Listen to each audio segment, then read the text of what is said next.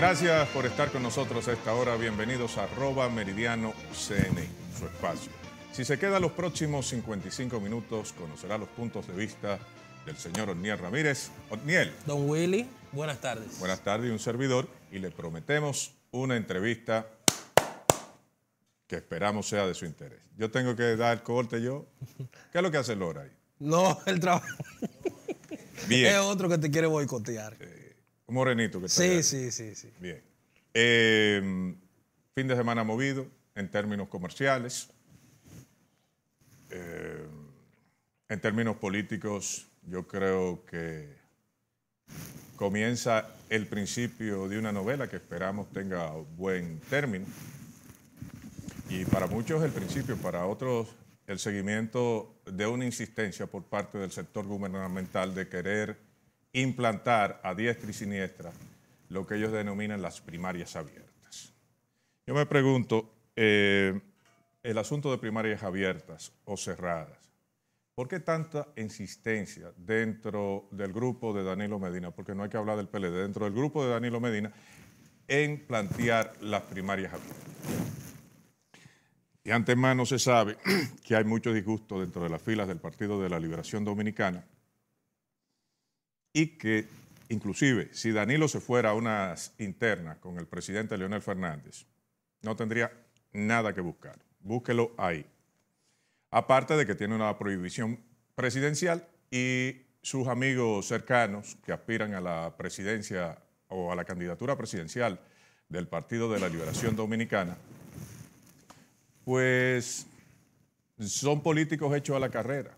Usted no me puede decir que Gonzalo Castillo, que es el que se ha señalado, o que Andrés Navarro, tienen algún tipo de referencia política. Eso me recuerda a mí, yo leyendo My Kampf, mi lucha de Adolf Hitler, que en un estribillo en 1926 eh, el hombre toma la determinación de, de marchar en términos políticos porque decía que funcionarios sin ningún tipo eh, de raíz, sin ningún tipo de evolución, sin ningún tipo, bueno, políticos hechos a la carrera que logran puestos de funcionarios, entonces se erigen como los prohombres del país eh, en términos de utilizar recursos del Estado para mercadear su figura. Y cuando yo leí eso, inmediatamente pensé en República Dominicana 2017, 2016. ¿Qué es lo que está pasando aquí? Usted un problema político lo va a llevar al ámbito jurídico para trastocar toda eh, la, eh, lo, le, lo legal, lo de la base, lo jurídico de República Dominicana, porque usted se quiere quedar ahí. No. Es decir, e- ese tipo de razonamiento despegado totalmente de la realidad. Eh, tiene que, que retroceder y volver a la cordura. El presidente Medina en el 2016 juró que esa era la última vez. Muchos decían, bueno, no le crean mucho porque si juró en el 12 que solamente iba a respetar la constitución para no reelegirse, y en el 16 dice lo mismo, ¿quién garantiza que en el 20 no repita la acción? Tanto el presidente, que es el hombre que está insistiendo en quedarse en el gobierno, en quedarse en el PLD, como sus amigos que están en el gobierno, pues yo sigo insistiendo que este no es un gobierno del PLD, y, se puede malinterpretar porque regularmente cuando una parte de un partido eh, está disputando a otro, dicen, bueno, este no es el gobierno del PLD o no es el gobierno del PRD, pero si usted examina a fondo los protagonistas del gobierno de Danilo Medina en este segundo mandato, nada tienen que ver con el PLD. O son PLDistas adocenados, inclusive son PLDistas casi presos. Y entonces eh, la gran parte del Partido de la Liberación Dominicana se siente desligado de un partido y de un candidato que ellos fomentaron y que ayudaron a llevar al poder. En términos eh, de ciudadanos, eh, los PLDistas y el pueblo dominicano se ha portado cívicamente con respecto a las actuaciones de este gobierno. Hay muchas interrogantes, pero la mayor de ellas es ¿cuál es la historia de usted quererse quedar ahí más allá del 2020? Si, como insistimos aquí, lo primero que tiene que garantizar un gobernante, ¿qué es? La mejoría de vida de la población. Y si usted se va al ámbito económico, ¿de qué forma usted puede garantizar la mejoría de una nación? Eh, provocando mini, devaluaciones consecutivas que han hecho llegar del 2012 hasta la fecha a la moneda, una depreciación de la moneda dominicana de alrededor de 26, 27, quizás 30%. Eh, ¿Usted cree que yo estoy hablando por hablar? Vaya a los supermercados y compare precios. No le voy a decir, no lo compare con el 2012 porque se va a quedar con la boca abierta. ¿Cómo? Que yo pagaba esto. No, compárelo con los países del área. Voy más lejos, compárelo con los países desarrollados. Compárelo con los países de, de mayor per cápita, si se puede llamar, de mayores ingresos. Y usted va a ver que este no le tiene que envidiar a ningún otro país en, en comprar artículos a precios allá arriba. Con la diferencia que si usted va a los Estados Unidos, Estados Unidos tiene un per cápita de 56 millones de dólares y República Dominicana de alrededor de 6 mil dólares al año. Entonces, lo primero que tendría que hacer el gobierno es enderezar la, economía y lo segundo es terminar eh, su, su visión en términos de obras, en términos de políticas que se pongan en práctica para beneficiar a la población antes de, pensar en yo me quedo ahí. Si a esto usted le suma un incremento sustancial de la deuda externa, que este año, eh, el próximo año vamos a pagar el 24,6% del presupuesto nacional en intereses, no en amortización, en intereses de la deuda, entonces usted pensaría, bueno, este gobierno va a tener que actuar tímido y, actuar eh, a pasito lento, si lo quiere llamar, con el fin de llegar con cierto grado de popularidad al 2020. Entonces, por favor, a la gente del gobierno, que deje de estar insistiendo en una cosa que se ha provocado por, por ambiciones políticas. Usted no puede trastocar la vida de una nación pensando exclusivamente en que yo me quiero quedar ahí. Yo no le echo la culpa al señor Peralta, eh, al administrativo, ni a Montalvo, ni a Gonzalo, ni a compañía. Todo eso es provocado por la insistencia del presidente Medina que parece que quiere mantenerse en el poder hasta que esté con vida.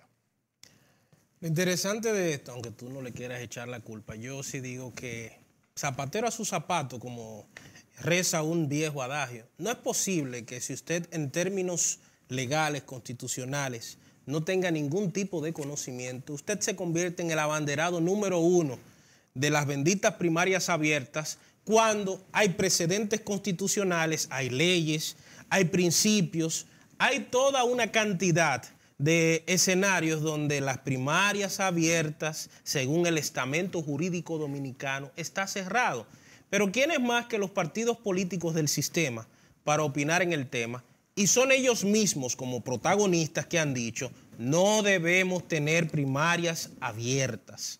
Entonces, cuando uno se va a los argumentos emitidos particularmente por el ministro administrativo, que yo no sabía que era abogado y que tenía tanto conocimiento del área, pero se ha tirado un asunto que en, en los demás países del círculo, Costa Rica, Honduras, que se ha querido implementar el tema de las primarias abiertas, simplemente la constitucionalidad o el Estado democrático ha sido golpeado.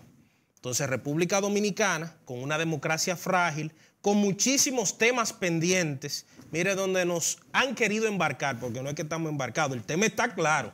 La constitución dice, las leyes dicen, los tribunales en sus decisiones han explicado que no debe haber primarias abiertas. Entonces, ¿por qué en medio de este proceso quieren insistir, quieren endilgarle, cuando todos los sectores, sociedad civil, empresariado, los partidos políticos que son los que tienen que dar la opinión han dicho no queremos primarias abiertas? Entonces, uno simplemente llega al punto de decir, bueno, y es que una persona está por encima de todas las leyes. O sea, puede cambiar el ordenamiento jurídico para yo quedarme, para sentarme ahí, y un grupo de personas que no tienen ningún tipo de personalidad a sí mismo, porque defienden algo que estructuralmente explicándolo ellos no pueden, no pueden llegar a un punto donde usted diga, bueno, es así, estoy convencido. Perdón, donde falla tu, tu análisis es donde falla la mayoría de la población dominicana a la hora de inculpar a alguien. El ministro administrativo de la presidencia, el ministro de la presidencia, el ministro de Obras Públicas responden a las directrices del sector Danilo Medina, que lo encabeza el presidente de la República Dominicana. El que conoce ese grupo se da cuenta que ahí no se discute nada, que ahí hay un jefe y los otros son obedientes, que ahí le dicen, mire, la estrategia es esta, esta y esta, y ahí nada más se dice, sí, señor, sí, señor. Entonces, ya está bueno de estar señalando a personas que, son, eh, que sirven de medio, no de, no, no de emanadores de pensamientos ni de política. Todo eso está orquestado por el presidente Medina, que me imagino que después que es presidente eh, ha desarrollado la tesis de que un presidente no habla.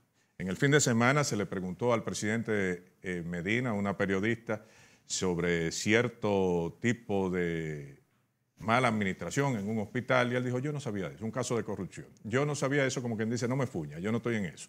Entonces, no creo tampoco que sea la respuesta que un presidente debe darle a un ciudadano, por más pequeño o más grande que sea. Eh, paradójicamente, en el fin de semana también se desarrolló una actividad en el Partido Revolucionario Dominicano donde su presidente fue reelegido por cuatro años más. ¿Y de qué forma fue reelegido? Fue elegido a través de delegados, una asamblea, que dictaminaron que ese señor se debía quedar ahí. Pero ¿qué resulta? Que el señor Vargas Maldonado es un abanderado, tal vez es, o se adhiere, mejor dicho, porque no es abanderado, se adhiere a la plataforma del gobierno de Danilo Medina de querer implantar primarias abiertas porque el señor Maldonado no está en política. El señor Maldonado está en garantizar una cuota de poder en un futuro gobierno del Partido de la Liberación Dominicano encabezado por Danilo Medina. Atención que hay una prohibición constitucional, pero si a pesar de eso insiste, yo no tengo dudas de que el candidato del Partido de la Liberación Dominicana va a ser Leonel Fernández, y no por pocos votos. Eh, dejamos eso ahí, vamos al cambio comercial. Cuando regresemos vamos a tener una interesante entrevista con el secretario general del partido, revolucionario socialdemócrata. En un momento volvemos.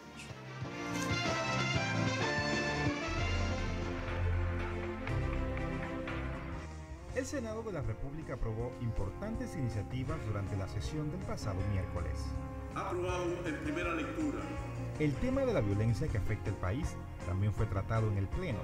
Los senadores expresaron su preocupación ante el incremento de este flagelo.